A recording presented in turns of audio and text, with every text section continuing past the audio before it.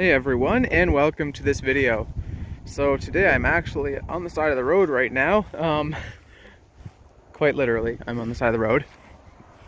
Um, this is a, I believe, is a 50s era GMC Suburban. Now, before we get into this, I would like to say this. If you could please go hit that subscribe button as well as like this video, I would super appreciate it. I have a goal and that goal is to reach a minimum of 25,000 subscribers in the year 2021. But I would love to see 50,000. And if it goes further than that, that would be amazing. But yeah, let's get right into this. This is, um, I think it's a 50s era. Mid 50s maybe. Uh, GMC Suburban panel truck. I believe that's what it's called, if I remember correctly. Now, these plates are from 76, so that says this vehicle has not been on the road since 76. That was from before they uh, just put stickers on the plate and they actually... You guys are so disrespectful. I'm trying to make a video here. Why do I have to drive on the road that I'm on the side of? um, this one has says 9430 on it, but look at the font. That's such cool looking font. A lot of rust on it though. The chrome amazingly is all here though. It's rough, but it's there. Now that being said, the rockers are, oh, not so much. David J. Burns something or other. Maybe the other side's better. It was stick shift, of course, and there is no floor left in this thing. You can see the floor is just gone. And it had a lot of body work done to it. This is all Bondo back here. So they did try to genuinely save it, but they didn't do it the right way. Bondo and fiberglass mesh. Nice. Not how you do body work. You can see the plates on this back still.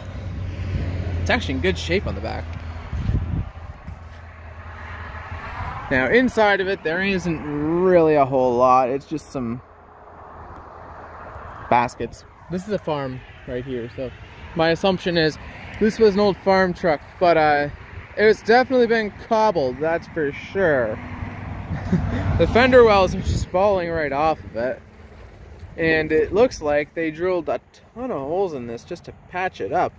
But this side, the fiberglass reinforcement, or whatever they did, is falling right off. And you can see the fiberglass literally separating right there. There's nothing left to the bottom of this thing. This is totally, completely unrestorable. I lied. It's missing a little bit of chrome.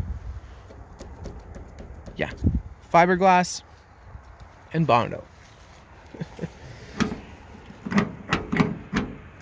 Door doesn't open, of course. Uh, David Burns, again. D. Burt Fawn Hill. So this is a local truck to here, or S or. I don't know what it is. Would it be called a wagon back in its day, or would it be an SUV, or a truck? I don't know.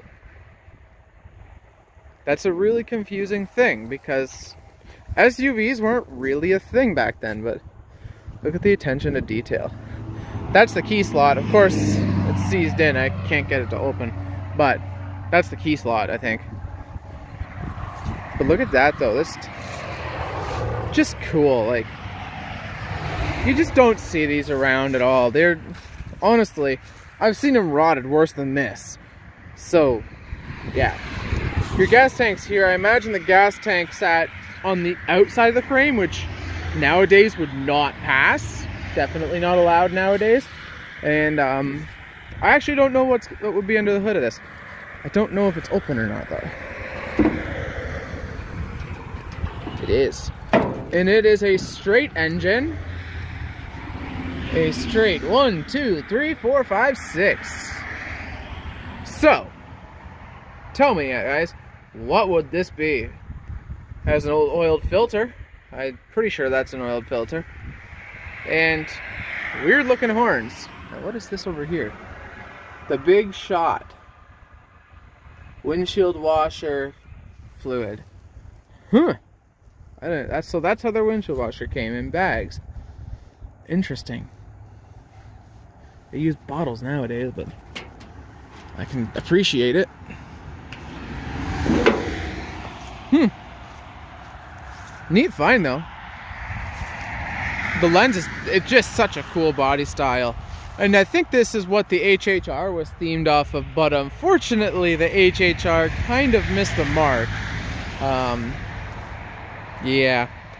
Anyways, if you enjoyed this video, please hit that like button as well as subscribe for more. And please also hit that subscribe button because, well, my goal of a minimum of 25,000 subscribers this year and, well, 50,000 if I really is really, really what I would like to see. So yeah, thanks for watching. Have a great day, everyone.